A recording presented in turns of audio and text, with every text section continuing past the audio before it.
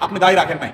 আপনি দায় না রাখার কারণে আপনি গুনাগার হবেন, কাফের হবেন না। কিন্তু কেউ দায় রেখেছে, তার দাড়িকে অপমান করে, অপদস্থ করে, তার ছেলে করে কোনো কথা বললেন, সাথে সাথে কি হবে? ইমান চলে এটা খুব ডেঞ্জারাস একটা বিষয়। কেউ যদি মনে করে আল্লাহর বিধান এখন আর অচল, এখন অন্যটা সচল, তাহলে সেই ইসলাম থেকে খারিজ হয়ে যাবে।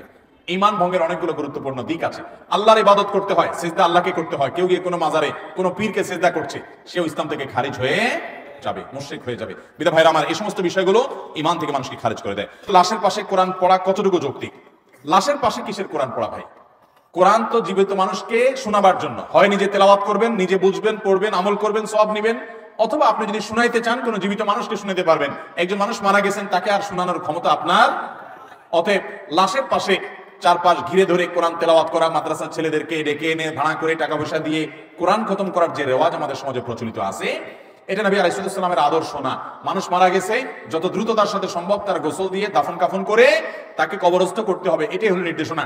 আর তার জন্য দোয়া করবেন, দান সাদেকা করবেন নেকামল করবেন ইসালে সব করবেন, সেটা ভিন্ন কথা। কিন্তু লাশের পাশে বসে কোরআন পড়ার বিশেষ কোনো বৈশিষ্ট্য নাই। আমাদের এলাকায় ধর্মীয় অনুষ্ঠানে হিন্দুদের দোকান থেকে মিষ্টি ব্যবহার করা হয়। এই এলাকায় কোনো মুসলমানের দোকান নাই, এমন নয়। তাহলে এটা কি জায়েজ হবে? দেখুন, কোনো খাবার হিন্দুর দোকান থেকে কিনলে হারাম হয়ে যাবে, ব্যাপারটা কিন্তু সেরকম না। দেখতে হবে যে খাবারটা পাক কিনা। যদি কোনো হিন্দু খাবারের মধ্যে কোনো নাপাক মেশা তাহলে সেটা নাপাক হবে, যার কারণে খাওয়া হালাল হবে না, কেনা হালাল হবে। আবার কোনো মুসলমানও যদি একই কাজ করে, সেটাও কি হবে? হারাম হবে, সেটা কেনা জায়েজ হবে। তবে এটা